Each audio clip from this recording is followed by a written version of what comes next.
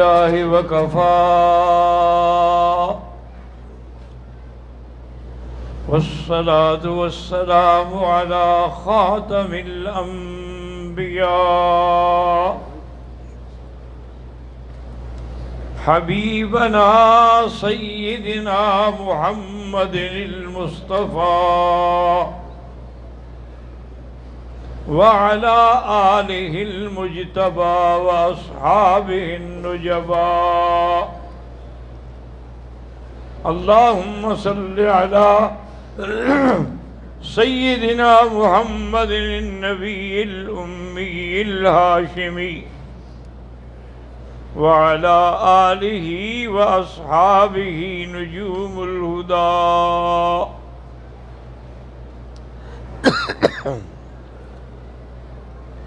أما بعد فقد قال الله تبارك وتعالى في القرآن المجيد والفرقان الحميد. أعوذ بالله من الشيطان الرجيم. بسم الله الرحمن الرحيم.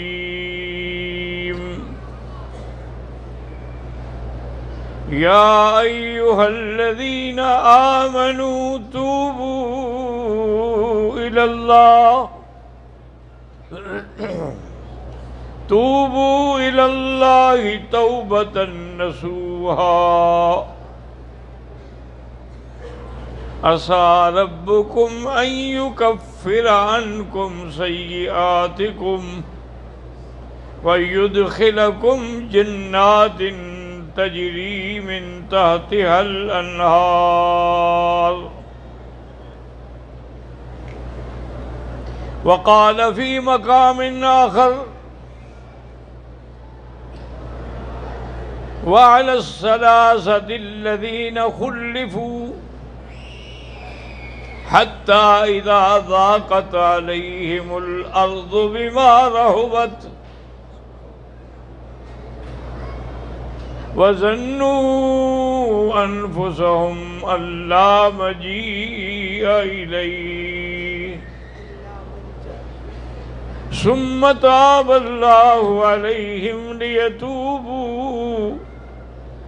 إن الله هو التواب الرحيم. صدق الله العلي العظيم. وصدق رسوله النبي الكريم. ونحن على ذلك لمن الشاهدين ومن الشاكرين والحمد لله. والحمد لله رب العالمين. رب شرح لي صدري ويسر لي أمري وحلل عقدة من لساني يفقه قولي سبحانك لا علم لنا إلا ما علمتنا إنك أنت العليم الحكيم برادران اسلام میں نے کل بھی توبہ کے موضوع پہ کچھ عرض کیا تھا۔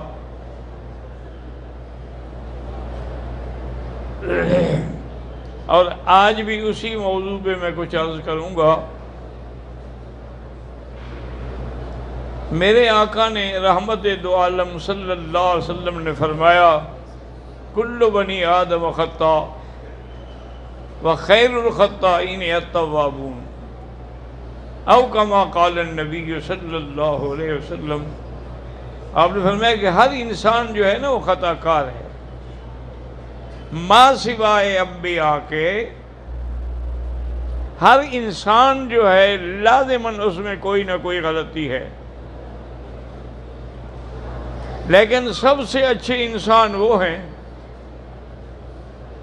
جو فوراً توبہ کر لیتے ہیں۔ اور توبہ کا معنی یہی ہوتا ہے کہ اعتراف بالذنب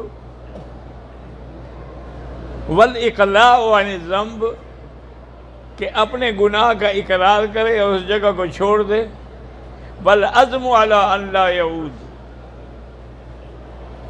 اور یہ بھی فیصلہ کر لے کہ آئندہ میں نے یہ گناہ نہیں کرنا ہے، لیکن خدا نہ کرے پھر گناہ ہو جائے، پھر توبہ کرے۔ حتیٰ کہ ایک حدیث میں مسلم میں آتا ہے کہ اللہ تبارک و تعالی نے فرمایا کہ میرے نبی اگر میرے بندے گناہ نہ کریں نا، تو میں ان کو اٹھا لوں اور میں اور مخلوق بھیجوں۔ جو گناہ بھی کرے اور مجھ سے معافی بھی مانگے۔ کیونکہ اگر یہ معافی نہیں مانگیں گے تو صفت استغفار کہاں ظاہر ہوگی؟ صفت ستار کہاں ظاہر ہوگی؟ صفت غفار کہاں ظاہر ہوگی؟ سرکار دو عالم کے زمانے میں ایک عورت نے زنا کیا اور حضور کے پاس آ گئی۔ آپ یہ اندازہ کریں کہ ان لوگوں کا ایمان کتنا سچا تھا کہ اگر کوئی غلطی ہو جاتی تھی، فوراً حضور کی خدمت میں آ جاتی کہنے لگی، یا رسول اللہ، سب تو حد میں نے گناہ کیا ہے، مجھے حد جاری کریں۔ آپ نے فرمایا، اللہ کی بندی ہو سکتا ہے، تم نے گناہ نہ کیا ہو، ایسے پیار کیا کیا انہوں نے کہا، یا رسول میرے پیٹ کا بچہ نہیں دیکھ رہے ہو، یہ گواہ ہے کہ میں نے گناہ کیا ہے۔ آپ نے فرمایا اچھا پھر ہم تمہیں ہاتھ تو نہیں مار سکتے۔ جب تک کہ یہ بچہ پیدا نہ ہو جائے۔ اس کا کیا گناہ ہے جو پیٹ میں ہے؟ جب یہ پیدا ہو جائے پھر آنا۔ اب دیکھیں ایمان عورت کا بھی کہ حد کے لیے پھر آ گئی۔ بچہ پیدا ہونے کے بعد پھر آ گئی۔ السلام علیکم۔ حضور رکھم حدن آپ نے فرمایا تھا کہ میں حد جاری کروں گا، یہ بچہ پیدا ہو گیا۔ آپ نے فرمایا بچہ کو پالے گا کون؟ جاؤ اس کو دودھ پلاؤ۔ جب یہ روٹی کھانے کے قابل ہو جائے پھر آ جانا۔ اس عورت نے اس بچے کی حفاظت کی اور وہ بچہ جب روٹی کے ٹکڑا کھانے کے قابل ہوا تو روٹی کا ٹکڑا بھی اس کو پکڑوایا اور اس بچے کو لے کے پھر آ گئی۔ یعنی ان کو یہ بے چینی ہوتی تھی کہ بھی گناہ ہو گیا ہے تو حد لگ جائے بس، تاکہ ہم قیامت میں تو سزا سے بچ جائیں نا۔ حضور یہ دیکھیں میرا بچہ ہے، یہ روٹی کھا رہا ہے۔ آپ نے صحابہ کو حکم دیا کہ حد قائم کرو۔ حد قائم کی گئی۔ آپ نے کہا اس کا جب جنازہ تیار ہو جائے، جنازہ میں پڑھاؤں گا۔ حضور صلی اللہ علیہ وسلم جب جنازے کے لیے آئے، حضرت عمر رضی اللہ تعالیٰ عنہ کھڑے ہوئے کہا، یا صلی صلی علیہ وحی حضور، آپ اس کا جنازہ پڑھائیں گے، یہ تو زانیہ عورت ہے۔ اعتراف زنا پر اس کو سزا ملی ہے۔ حضور ناراض ہوئے، فرمایا، عمر لکتا توبتن لو قسمت على اہل المدینت لوسعتهم اس نے ایسی توبہ کی ہے اور اللہ نے اس کی توبہ بھی ایسے قبول کی ہے کہ اگر سارے مدینے کے گناہ گاروں پر تقسیم کروں تو سب کو کافی ہو جائے۔ اصل بات پھر وہی ہے کہ توبہ توبہ کا نام نہیں ہے، توبہ دل سے بھی نکلتی ہے۔ میرے آقا معصوم ہیں، لیکن روزانہ آپ نے فرمایا کہ انی استغفر اللہ میعت مرتن، میں ایک سو دفعہ روز استغفار پڑھتا ہوں۔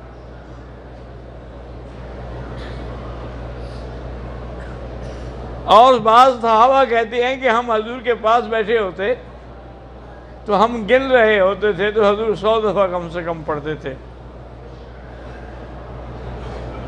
اور یہ مسئلہ بھی یہاں سمجھ رہے ہیں کہ اگر آدمی گناہ گار نہیں ہے تو پھر توبہ کا کیا مطلب؟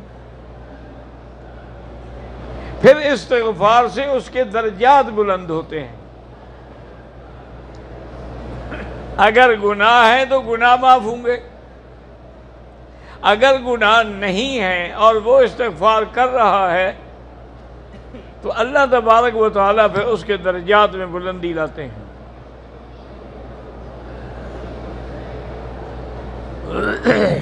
اور وہ دوسری آیت جو میں نے عرض کی تھی، وہ تین صحابہ کا واقعہ ہے جو احادیث کی کتابوں میں موجود ہے، قرآن میں بھی موجود ہے۔ ان میں ایک کعب ابن مالک تھے ایک ہلال ابن امیہ تھے ایک ربی ابن مرارہ تھے یہ تین صحابہ تھے۔ جو غزوہ تبوک کے موقع پر پیچھے رہ گئے اور حضور کے ساتھ نہیں جا سکے۔ کعب ابن مالک فرماتے ہیں کہ میں حضور کی خدمت میں آیا۔ نے کہا کہ کعب کیا ہو گیا تم؟ کیوں نہیں آئے؟ میں نے کہا، حضور، سچی بات یہ ہے، مجھے کوئی حضور نہیں تھا۔ میرا ہر چیز جاہز تھی، تیار تھی۔ میں سستی کرتا رہا کہ آج جاتا ہوں، آج جاتا ہوں، آج جاتا ہوں۔ اور نتیجہ یہ نکلا کہ آپ جنگ کر کے واپس آ گئے اور میں نہ نکل سکا۔ حضور نے فرمایا کعب کم۔ ان اللہ یقضی کفی کا جاؤ تم، تمہارا فیصلہ اللہ کریں گے۔ حضرت کعب کہتے ہیں کہ میں اٹھ گیا۔ مجھے صحابہ نے کہا، اللہ کے بندے، یہ تم نے غفلت کی۔ تم اگر حضور سے کہتے کہ حضرت اللہ سے معافی مانگ لیں میرے لیے، تو شاید اللہ پاک سے استغفار کر لیتے۔ اور کہا نہیں، میں نے یہی سوچا ہے کہ سچ میں نجات ہے۔ میں نے سچ کہا ہے، پھر جو اللہ کو منظور ہے، مجھے وہ قبول ہے۔ کچھ دنوں کے بعد حضور کا پیغام پہنچا کہ تم اپنی بیوی کو الگ کر دو، اس کو اس کے سسرال میں بھیج دو۔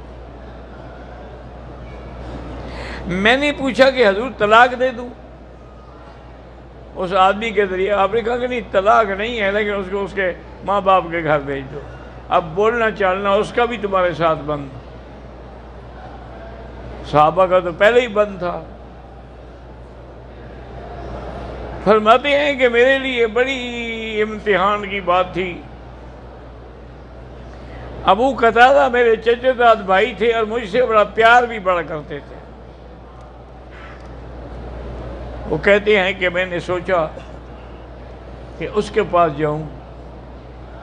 ہو سکتا ہے کہ وہ میری بات کا کوئی جواب دے۔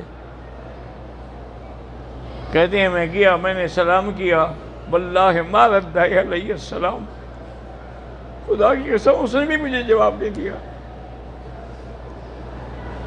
میں حضور کی مسجد میں آتا نماز پڑھنے کے لیے، چرا کے آنکھیں دیکھتا کہ حضور مجھے دیکھ رہے ہیں تو حضور نہیں دیکھ سکتے۔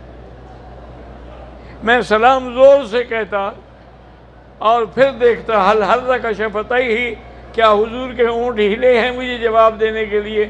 واللہ ما حرک نہیں ہے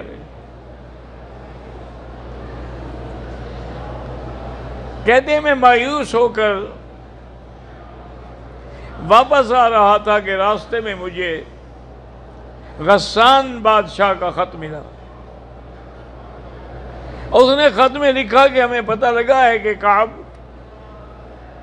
تمہارے ساتھی نے تمہارے ساتھ بڑی زیادتی کی ہے۔ بول چال بند ہے۔ تمہارے ساتھ تمہارے گھر والے بھی نہیں رہ سکتے ہیں۔ تم یہ خط پڑھ کے فوراً چلے آؤ، ہم تمہیں عزت دیں گے، وقار دیں گے، عہدہ دیں گے۔ کہتے میں نے ادھر ادھر دیکھا، تنور جل رہا تھا۔ میں نے پھاڑا کاغذ کو تنور میں ڈالا اور اس قاصد کو کہا کہ جا کے غسان کو کہہ دینا۔ کہ تیرے خط کا یہ جواب ہے۔ کہتے ہیں کہ پھر میں ایک دن صبح کی نماز کے بعد واپس آیا اور اپنے گھر کی چھت پہ بیٹھا تھا اور رو رہا تھا۔ وہ کہتے ہیں کہ میں رو اس لیے رہا تھا کہ اگر انہی دنوں میں مجھ پہ موت آ گئی تو حضور تو میرا جنازہ نہیں پڑھائیں گے۔ پھر میرا کیا ہوگا؟ جب آپ بات نہیں کرتے تو جنازہ کہاں میرا پڑھائیں گے؟ وہ کہتے ہیں کہ دو تین دن اور گزرے۔ میری عادت تھی کہ میں نماز پڑھ کے آتا، اپنے گھر کی چھت پہ بیٹھ کے تلاوت کرتا تھا قرآن کی۔ جبل سلا سے آواز آئی اب شریعہ کاب کاب تمہیں مبارک ہو۔ میں خوش ہو گیا، سجدے میں گر گیا۔ میں نے کہا الحمدللہ خیر ہو گئی۔ تھوڑی دیر گزری کہ میرا ایک ساتھی گھوڑے پہ سوار آیا اور نے کہا کہ کاب تمہیں مبارک ہو، تمہاری توبہ قبول ہو گئی۔ تو میں نے کہا امن اند رسول اللہ امن اند اللہ۔ یہ حضور نے کی یا اللہ نے؟ ان کا نہیں، اللہ نے تیری توبہ قبول کی ہے۔ تو کہتے ہیں میرے پاس اور تو کچھ نہیں تھا۔ میں نے اپنے کپڑے اتار کے اس کو دے دیے۔ میں نے کہا، تم یہ پہن لو، تم نے مجھے خوشی کی خبر سنائی ہے، میں کسی سے لے مانگ کے پہن لوں گا. کہتے ہیں، میں حضور کی خدمت میں آیا، حضور نے میری طرف دیکھا میں تو بس سمجھ رسول حضور مسکرا رہے۔ یبر کو وجہ ہوا، آپ کا چہرہ چمک رہا تھا اور کہا کہ اب شر اب شریعہ کام مبارک ہو تمہیں۔ تمہاری توبہ اللہ نے قبول فرما لی ہے۔ تو اللہ تبارک و تعالیٰ جب چاہتے ہیں، تو توبہ جو ہے وہ قبول ہو جاتی ہے۔ اسی لیے احادیث میں بھی آتا ہے،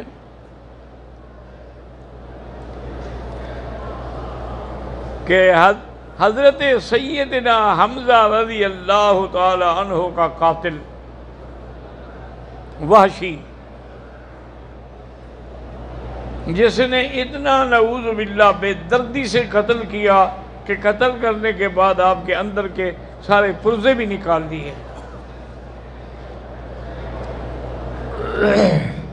اور پھر ان کو چباتا رہا۔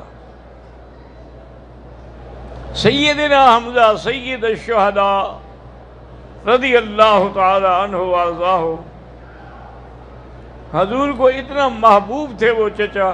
کہ جب ذکر آتا تو حضور رونے لگ جاتے۔ ایک دن کسی نے کہا وحشی کو کہ اللہ کے قرآن کی آیت ہے کہ ان اللہ لا یغفر ان یشرک بھی ویغفر ما دون ذالک لمن یشاء۔ اللہ صرف شرک نہیں بخشیں گے۔ باقی جتنے بڑے گناہ ہیں، جس کو چاہیں بخش دیں۔ انہوں نے کہا اللہ کے بندے جب یہ آیت آ گئی ہے، جا کے مسلمان ہو جاؤ۔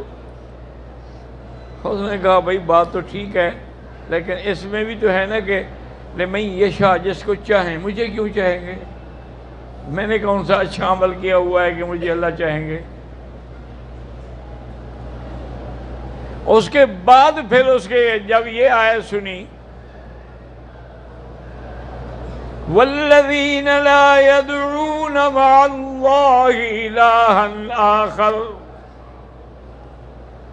ولا يقتلون النفس التي حرم الله إلا بالحق ولا يذنون ومن يفعل ذلك يلقى ساما يضاف له العذاب يوم القيامة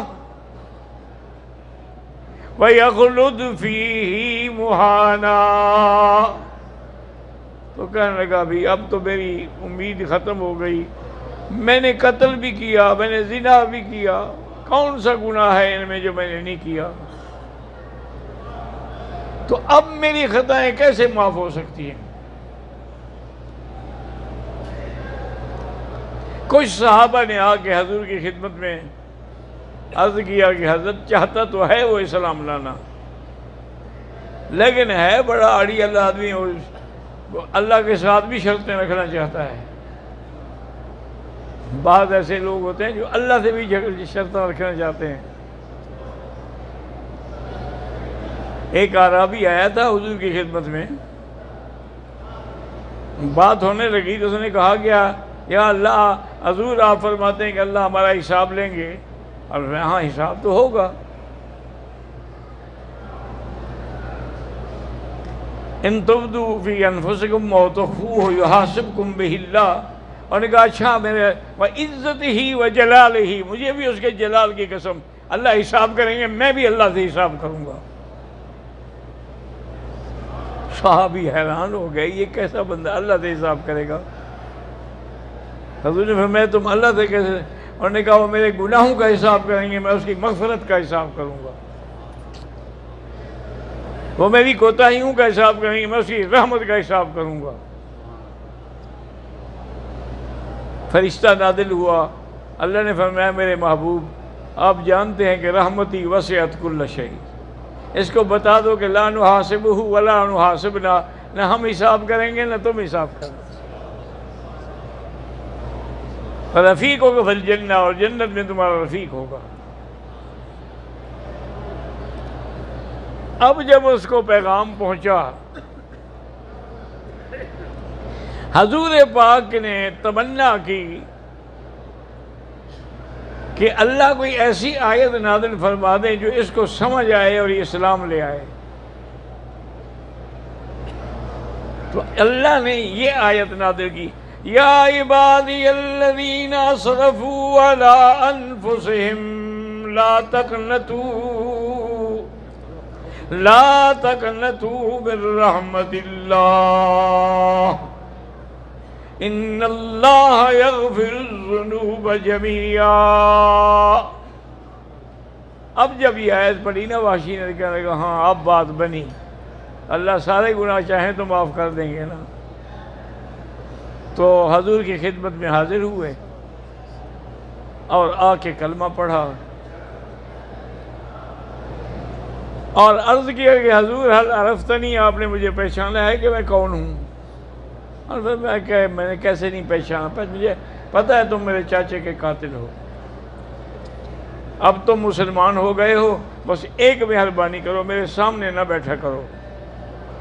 چونکہ جب تم میرے سامنے بیٹھتے ہو تو مجھے چاچا یاد آ جاتا ہے۔ اور نے کہا، حضرت، اگر آپ کو میرے دیکھنے سے تکلیف ہوتی ہے، میں قسم کھاتا ہوں کہ آپ کے سامنے کبھی نہیں آؤں گا۔ اور آؤں گا تو اس وقت آؤں گا جب میں آپ کو دیکھنے کے قابل ہوں گا۔ صحابہ کہتے ہیں، حضرت سیدنا ابی بکر میں صدیق رضی اللہ عنہ کا دور خلافت تھا اور حضرت اسامہ کو حضور نے جنگ کے لیے بھیجا تھا مسلمہ کے خلاف مسلمت القذاب، جس نے جھوٹی نبوت کا دعویٰ کیا تھا۔ اب لڑائی زوروں پر تھی، دونوں طرف سے فوجیں سفارا تھیں۔ صحابہ کہتے ہیں کہ ہم نے دیکھا کہ دور سے ایک آدمی گھوڑے پہ ایسے آ رہا ہے جیسے گھوڑا اڑ رہا ہو۔ چل نہ رہا ہو۔ اور اس نے ڈٹھا باندھا ہوا ہے۔ کہتے ہیں، بس ابھی ہم یہ باتیں کر رہے تھے کہ کون ہے کون ہے کون ہے کہ اس کی تلوار پڑی مسلمہ پہ، ٹکڑے کر دیے دو۔ اور ڈاٹھا کھولا اور کہا فز تو رب یا اللہ، میں کامیاب ہو گیا۔ میں نے کفر کے زمانے میں تیرے مدنی کے چاچے کو قتل کیا تھا۔ اور آج اسلام کے زمانے میں میں نے محمد مدنی کے دشمن کو قتل کیا اب میں حضور کے سامنے جانے کے قابل ہوں۔ تو حضور صلی اللہ علیہ وسلم کہ جس نے بھی پھر توبہ کی، اللہ نے اس کو توبہ کے بدلے میں یہ توفیقیں عطا فرما دی۔ اور یہ بھی حدیث میں آتا ہے کہ اللہ فرماتے ہیں کہ اگر تمہارے گناہ آسمان تک پہنچ جائیں، پھر تم توبہ کرو تو میں بخشنے کے لیے تیار ہوں۔ دعا کریں اللہ ہم سب کو توبہ کی توفیق دے۔